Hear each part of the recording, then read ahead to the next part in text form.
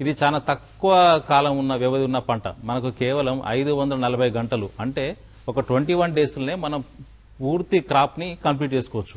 అంటే మనకు ఆల్రెడీ ఎనిమిది రోజులు పెరిగిన పురుగులు ఇస్తారు. అంటే ఎట్లయితే పౌల్ట్రీలో మన హ్యాచరీ సెంటర్స్ ఉంటాయో అదే మాదిరిగా మా దాంట్లో చాకీ సెంటర్స్ అని ఉంటాయి. ఆ చాకీ సెంటర్స్లో ఎనిమిది రోజులు పెంచిన పురుగు ఇస్తారు మాకు. తర్వాత అంటే రెండు దశలు అక్కడనే కంప్లీట్ చేసుకుంటుంది. మిగతా మూడు దశలు మన దగ్గర కంప్లీట్ అవుతాయి అన్నట్టు. ప్రతి దశకు మధ్యలో మౌల్టింగ్ అని ఉంటుంది.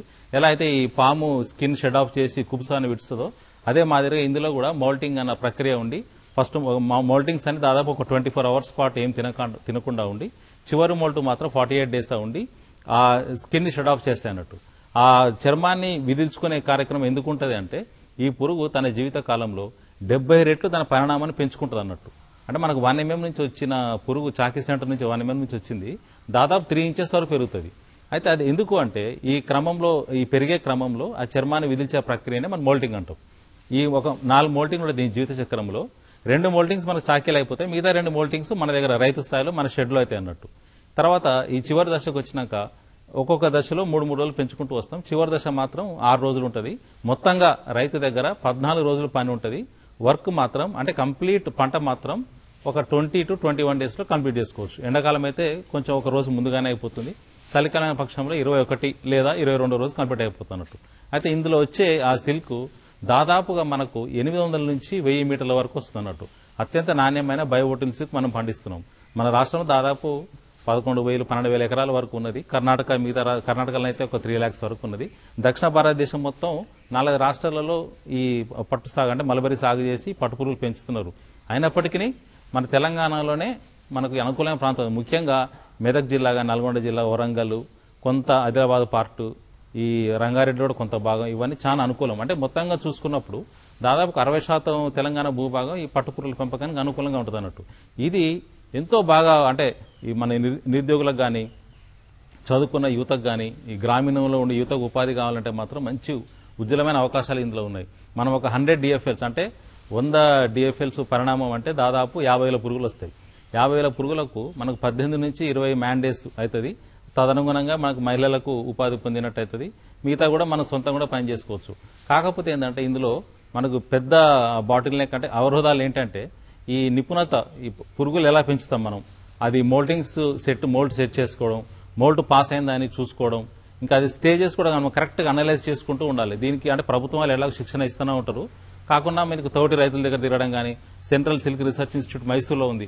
అక్కడ కానీ మనం ఈ నిపుణత మీద మన శిక్షణ పొందినట్టయితే చాలా బాగుంటుంది మన దగ్గర కూడా సెంటర్ ఆఫ్ ఎక్సలెన్స్లో సిఎస్బి శాస్త్రవేత్తలు ఉన్నారు వాళ్ళు ఉన్నారు. డిపార్ట్మెంట్ ఆఫ్ సెరికల్చర్ ఉన్నది మనకు మనకు వెన్నంటే ఉంటుంది. వాళ్ళు కూడా మంచి ప్రోత్సాహం ఇస్తారు కాకపోతే ఏంటంటే ఇది స్టార్ట్ చేయాలన్నప్పుడు మనకు ముఖ్యంగా వచ్చేది సొంత భూమి అయితే కొంచెం ఈజీగా ఉంటుంది. ఎందుకంటే లీజ్ తీసుకున్న పక్షంలో ఇబ్బందులు ఎదురవుతాయి. ఆ లీజు అంటే ప్రాజెక్ట్ సెట్ అయ్యేసరికి దాదాపు one one and half year అవుతుంది కాబట్టి మనకు రిటర్న్స్ రావడం ఈ బ్రేక్ ఈవెన్ రావడం కొంచెం ఇబ్బంది అవుతుంది. సొంత భూములు అయినప్పుడు అంత ఇబ్బంది ఉండదు.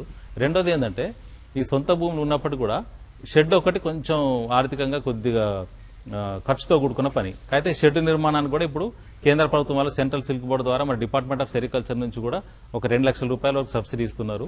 అదే కాకుండా మనకు ప్రభుత్వం నుంచి మంచి ప్రోత్సాహం ఉంది ఇది. మనకు దీనికి కావాల్సిన వీటి మీద స్ప్రెడ్ చేసే నేత్రికలు కానీ దీంట్లో వాడే ట్రేలు కానీ ఇంకా కొన్ని డిస్ఇన్ఫెక్టెంట్స్ ఇట్లా చాలా రకాలుగా ప్రభుత్వం వారు మనకు సహకారం అందిస్తారు. షెడ్కి అయితే ఒక పన్నెండు వందల యాభై అడుగుల షెడ్కు ప్రస్తుతం రెండు లక్షల వరకు సబ్సిడీ ఇస్తున్నారు. ఇంకా అంటే ఎక్కువ కూడా పెట్టుకోవచ్చు. అయితే ఇప్పుడు టూ క్వింటల్స్ మన దిగుబడి వచ్చిన పక్షంలో దాదాపు ఎనభై వేల రూపాయల వరకు వస్తుంది. ఎనభై వేల నుంచి మనం ఒక ఆరు నుంచి ఏడు క్రాపులు తీసుకున్నా కానీ ఫోర్ టు ఫైవ్ ల్యాక్స్ నాలుగు నుంచి ఐదు లక్షలు సంపాదించుకునే అవకాశం ఉంది రెండున్నర ఎకరాల్లో. మల్బరీ చాలా మన దగ్గర గ్రీన్ ఆరోగ్యంగా మంచిగా పెరుగుతుంది. వి వన్ రకం అయితే మనకు చాకి పూలలో కానీ మన రేరింగ్ కానీ అన్నిటికీ అనువుగా ఉంటుంది. వి వన్ రకం వేసుకుంటే చాలా బాగుంటుంది.